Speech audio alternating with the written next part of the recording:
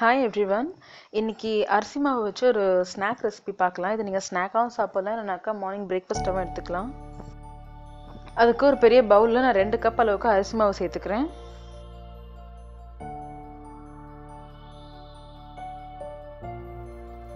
ஒரு அரை கப் அளவுக்கு பொடியாக நறுக்கின குடமிளகா.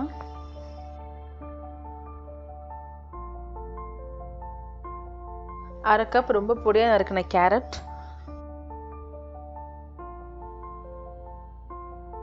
கால் கப் அளவுக்கு பொடியை நறுக்கின கொத்தமல்லியில் மூணு பச்சை மிளகாய் பொடியை நறுக்கினது.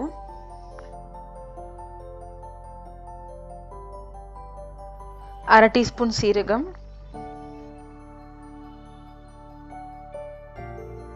தேவையான அளவுக்கு உப்பு.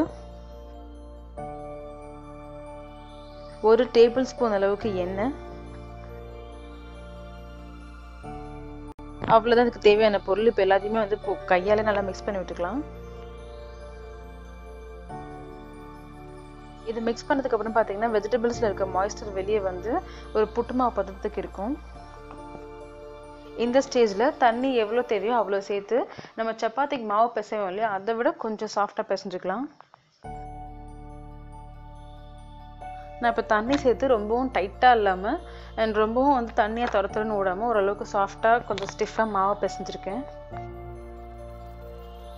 அதுலேருந்து கொஞ்சம் கொஞ்சமாக மாவு எடுத்து உருட்டி இந்த மாதிரி கைக்கு நடுவில் வச்சு கொஞ்சம் கொஞ்சமாக அப்படியே தட்டி எடுத்துக்கோங்க.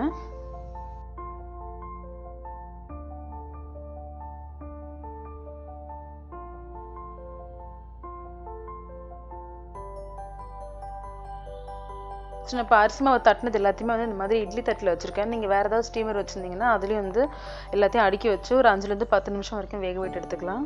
டென் மினிட்ஸ் வெந்ததுக்கப்புறம் பார்த்தீங்கன்னா உங்களுக்கு இப்படி தான் இருக்கும். இது வந்து சூடாக சர்வ் பண்ணுங்கள் அண்ட் ஏதாவது நல்ல காரமான சட்னி கூட சர்வ் பண்ணுங்கள் இல்லை ரொம்ப பிளாண்டாக தெரியும். அரிசி மாவு வச்சு பண்ணக்கூடிய ஸ்நாக் இதை நான் முன்னாடியே சொன்ன மாதிரி நீங்கள் ஸ்நாக்காகவும் சாப்பிட்லாம் இல்லை மார்னிங் பிரேக்ஃபாஸ்ட்டாகவும் சாப்பிட்லாம். ஏன்னா ரொம்ப குயிக்காக பண்ணிடலாம் இதை. ஸோ ட்ரை பண்ணி பாருங்கள் தேங்க்ஸ் ஃபார் வாட்சிங்